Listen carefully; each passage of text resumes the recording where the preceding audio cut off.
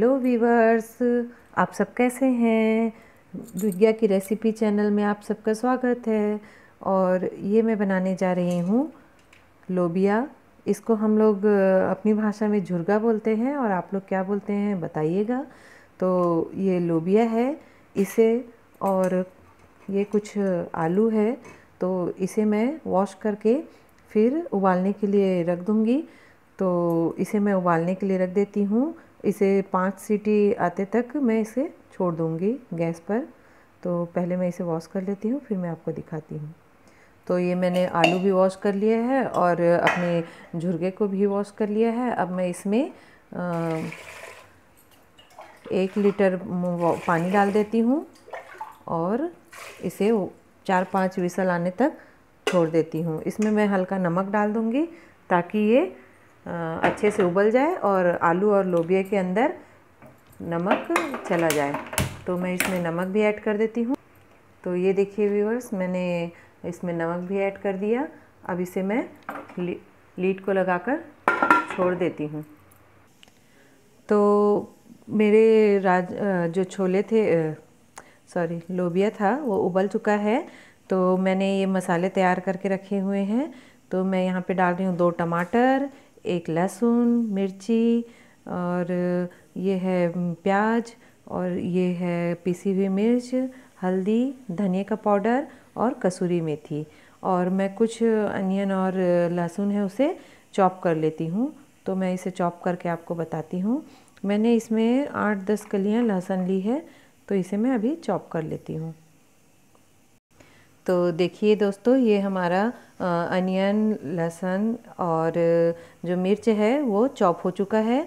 तो मैंने यहाँ पे कढ़ाई को गर्म होने के लिए रख दिया है। अब इसमें मैं ऑयल को ऐड कर लूँगी और इन मसालों को उसमें, जो चॉप किया हुआ अदरक, लहसुन और मिर्ची का पेस्ट है, उसे ऐड कर दूँगी। तो पहले हम इसमें ऑयल डाल देते तो ये मैंने ऑयल डाल दिया है। अब यहाँ पर मैं अपने लहसुन, मिर्च और अदरक के जो चॉप किया हुआ है, उसे ऐड कर दूँगी और इसे भुनने दूँगी। तो इसे मैं अब चम्मच चला लेती हूँ और थोड़ी देर भुनने देती हूँ। उसके बाद मैं इन्हीं में अपने जो पिसे हुए मसाले हैं, उसे भी ऐड कर दूँगी। तो इसे मैं तब तक भूनूँगी जब तक इसका कच्चापन चला ना जाए तो इसे मैं अभी भून लेती हूँ। फिर उसके बाद आपको दिखाती हूँ कि मैंने मसालों को किस तरह से इसमें डाला। हमारे जो ये मसाले हैं, उसमें मैं धनिए को भी इसी में ऐड कर दूँगी और इसमें मैं थोड़ा सा दूध डाल दूँगी। तो दूध डालने से इसमें क्या होगा कि जो हमारी ग्रेवी है ना, वो बहुत ही टेस्टी लगेगी और उसका जो कलर आएगा, वो भी बहुत ही अच्छा आएगा। तो इसे मैं मिक्स कर लेती हूँ पहले। फिर जब मेरे प्याज, लहसुन और अदरक के जो चॉप किया हुआ डाला है, वो भुन जाए, उसके बाद मैं इसे उसी में मिक्स कर लूँगी और टमाटर को भी डाल दूँगी। तो इसे मैं थोड़ी देर पेस्ट को भीगने देती हूँ दूध में। तो ये सीक्रेट रेसिपी है, दूध के साथ मसालों को मिक्स कर लेना। तो इसे आप भी करके देखिएगा। तो ये देखिए, मेरे मसाले भून रहे हैं। प्याज, लहसुन, अदरक। तो मैं यहीं पे अपने जो पेस्ट बनाए हैं, उसे ऐड कर देती हूँ। तो ये मसाले मैंने इसमें ऐड कर दिए। अब इसे मैं मिक्स कर लूँगी और प्याज लहसुन के साथ इसे भी बहुत देर तक भूनूँगी। तो देखिए, अभी से ये कितना अच्छा लगने लग गया है। तो इस तरह से हम मसालों का पेस्ट बनाकर डालते हैं ना तो इसका कलर बहुत ही अच्छा आता है। तो देखिए, ये अभी से अपने कलर को दिखा रहा है और कितना प्यारा लग रहा है। तो यहीं पे मैं टमाटर को भी ऐड कर देती हूँ और इसे भी मिक्स कर देती हूँ। और थोड़ा सा यहाँ पे मैं अपने कसूरी मेथी डाल दूँगी। तो कसूरी मेथी का टेस्ट तो मुझे बहुत अच्छा लगता है। आपको कैसे लगता है? आप भी बताइएगा। तो ये देखिए मेरे मसाले कितने अच्छे लग रहे हैं। तो मैं आप देख लेती हूँ, इन मसालों को भुनने छोड़ देती हूँ और अपने लोबिया को देख लेती हूँ झुरगे को, कि वो उबल कर तैयार हुआ है कि नहीं। और आलू को भी मैं छिलकर दिखाती हूँ आपको। तो ये देखिए, मेरे मसाले भून रहे हैं। तो इसमें मैंने जो दूध डाला है ना, उसके कारण से इसका ग्रेवी जो होता है, वो बहुत ही यम्मी दिखता है और टेस्ट में भी बहुत अच्छा लगता है। तो मैंने ये अपने लोबिया उबाल कर रखे थे, वो मैं ला चुकी हूँ। ये अच्छी तरह से उबल चुके हैं। तो ये इस तरह से उबल कर हो गए हैं और मैं इसमें तीन आलू डालूँगी। तो पहले मेरे मसाले भुन जाते हैं, फिर उसके बाद मैं इसे ऐड कर देती हूँ। ये बहुत ही जल्दी बन जाता है। तो दोस्तों, इसे बहुत चाव से खाइए और बनाकर ज़रूर देखिएगा। तो ये देखिए, मेरे मसाले भुनकर तैयार हो चुके हैं। तो इसमें मैं आलू को ऐड कर देती हूँ।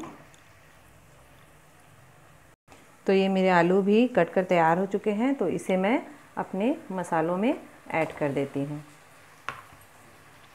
और भुनने देती हूँ। मैं अभी नमक इसमें नहीं डाल रही हूँ क्योंकि मेरे जो लोबिया है और आलू है, उबले हुए हैं। तो अगर मैं नमक डालूँगी तो ये ज़्यादा ही टूटने लग जाएँगे। तो मैं नमक को जब पानी डालूँगी, उसके बाद ऐड करूँगी। तो अभी मैंने इसे आलू को मसालों में अच्छे से मिक्स कर लिया है। तो इसे थोड़ी देर में भूनने देती हूँ। फिर जो मैंने लोबिया उबाल कर रखा हुआ है, झुरगे, उसे भी इसमें ऐड कर दूँगी। तो हम लोग अपने यहाँ छत्तीसगढ़ में तो इसे झुरगा ही बोलते हैं। तो आप लोग क्या बोलते हैं वो बताइएगा। ये हमारे झुरगे, जो उबले हुए हमने रखे हुए हैं। और इसको आई बीन्स भी बोलते हैं। तो मैं लोबिया को भी इसमें ऐड कर देती हूँ, क्योंकि मसालों ने तेल छोड़ दिया है तो ये अच्छे तरह से भून चुके हैं। तो अब मैं इसको ऐड कर देती हूँ। और इसे मिक्स कर देती हूँ।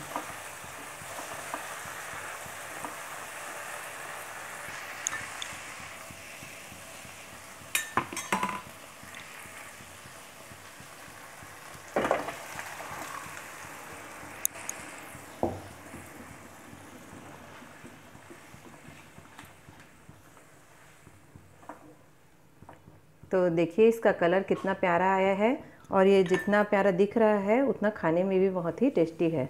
तो ये देखिए, ये उबल रहा है। ये उबल कर थोड़ा गाढ़ा हो जाए, फिर हम इसको उतार देंगे और इसे आपको गार्निश करके दिखाएँगे कि ये कैसे लग रहा है।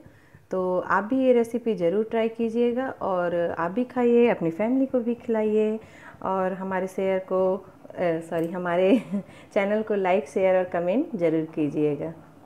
तो देखिए दोस्तों, ये मेरा लोबिया बनकर तैयार हो चुका है तो मैं इसमें अब धनिया को ऐड कर देती हूँ। तो इसमें आप ग्रेवी अपने हिसाब से रख सकते हैं, आपको ज़्यादा ग्रेवी की ज़रूरत नहीं है तो इसे और थोड़ी देर पकनी दीजिए, और अगर कम ग्रेवी चाहिए ज़्यादा ग्रेवी चाहिए तो आप इसे अभी बंद कर सकते हैं। तो आपको मेरी रेसिपी कैसी लगी है बताइएगा, और मेरे वीडियो को पूरा देखिएगा, और जो जो मैंने सीक्रेट बताया है, उसे फॉलो कीजिएगा। Thank you